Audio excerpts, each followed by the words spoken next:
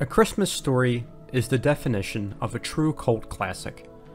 Although it was originally released to moderate success and lukewarm critical reception, it would go on to become a true classic the following decade due to its frequent television airings and success on home video. As a result, just over 10 years after its release, the creative team reunited to produce a sequel, set the summer after the events of A Christmas Story. It was originally released as It Runs in the Family, but today it's known as My Summer Story. And being that it's almost summer now, I can't think of a better time to talk about this almost cult classic.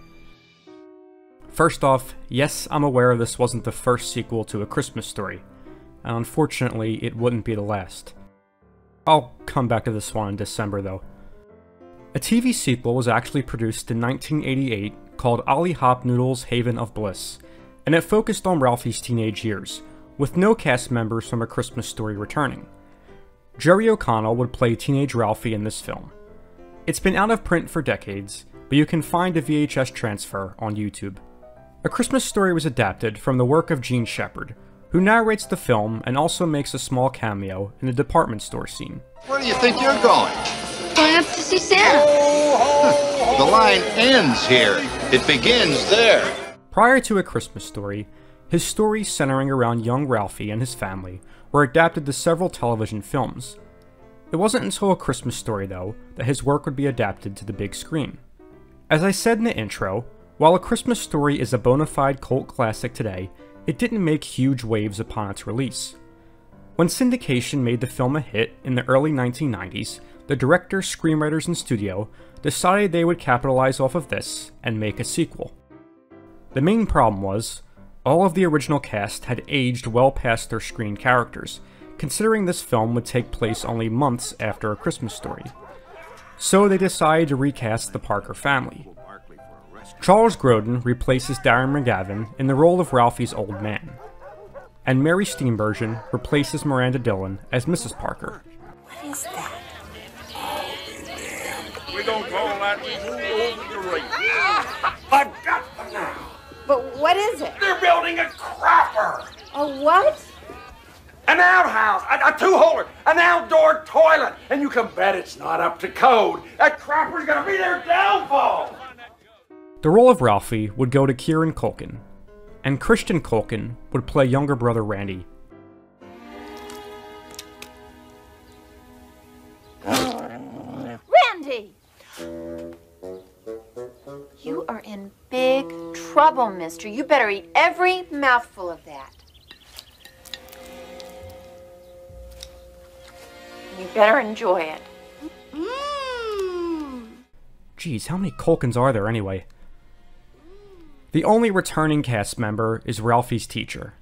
Now, Ralph, I want you to be very truthful. Truthful? Uh-oh. Where did you get the book? Did you get it out of the library? My mind working like a steel trap leaped into action. A, a kid gave it to me. A big kid. By the candy store. A big kid by the candy store gave you Boccaccio's Decameron. Jean Shepherd also returns to narrate. Oh, another five-minute wait. The old man tried to sneak by. Hold it! Son of a bitch! What was that, buddy? The old man turned on his innocent voice. I'm sorry, officer. Did I hear you calling me a son of a bitch? I beg your pardon, sir? He suddenly became hard of hearing, too. Much like a Christmas story, the plot is not overly complex. Ralphie has moved on from his Red Ryder BB gun and is now obsessed with tops. He's on a quest to find one to beat the town's new bully, Lug. I was one of that lonely breed.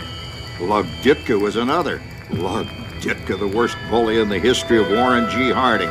Scut Farkus, my old enemy, had been demoted to bully second class. Get the top, stupid. Right, Lug? And do all the bullies in this town have to wear a similar hat? One thing that this film does differently, that I really like, is it expands on Mr. Parker's war with the Bumpuses, the loud hillbilly neighbors who were only referenced in the first film. Unlike A Christmas Story, they actually appear in the flesh in this movie, and they truly go to war with Mr. Parker in this film. It was a shootout. Only the old man made a tactical error.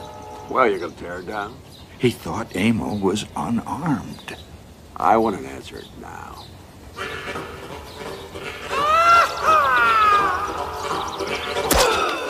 Oh,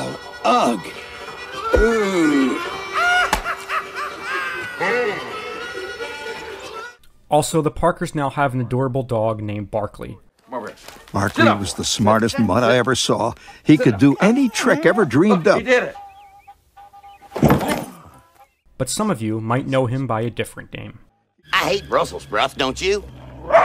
Yep, it's Ernest P. Worrell's dog, Rimshot. None of the main cast here are trying to do a carbon copy imitation of the original cast. They each make the roles their own while honoring the spirit of A Christmas Story. So, what went wrong here? Why does no one talk about this movie while its predecessor is so revered and referenced? Also, how did this movie only gross $70,000? Good lord. Well, for starters, this film was originally marketed and released as It Runs in the Family. If their goal in making this film was to capitalize off the success of A Christmas Story, it's just a baffling move. When the movie tanked, the studio must have realized how bad this decision was and wanted to correct their mistake for the home video release. So they renamed the movie, but even that they screwed up by just one word. The first film wasn't called My Christmas Story. This movie should have been renamed A Summer Story. At least then it might have stood a chance. But not even a retitle could save this film's fate. This movie was out of print for a long time, but it recently got a Blu ray release, and I recommend checking it out. Though it doesn't compare to A Christmas Story, I still think it has plenty of redeeming qualities. It tries to do new things with the characters, but also honors some of what made A Christmas Story work so well. It actually captures a lot of what it was like to be a kid during summer. If anything, it just highlights how A Christmas Story was truly lightning in a bottle. The film is the first in a long line of attempts to capitalize and recreate the success of A Christmas Story. But honestly, this is the one that comes the closest and isn't nearly as shameless. Ralph, don't shoot your eye out. I haven't shot my eye out. In fact, exactly the opposite. Oh, oh, oh. Sure, you won't find yourself quoting it or watching it every year, but My Summer Story is worth checking out for all it did differently. What was that? I don't know. Could have been one of our children. Yeah, maybe.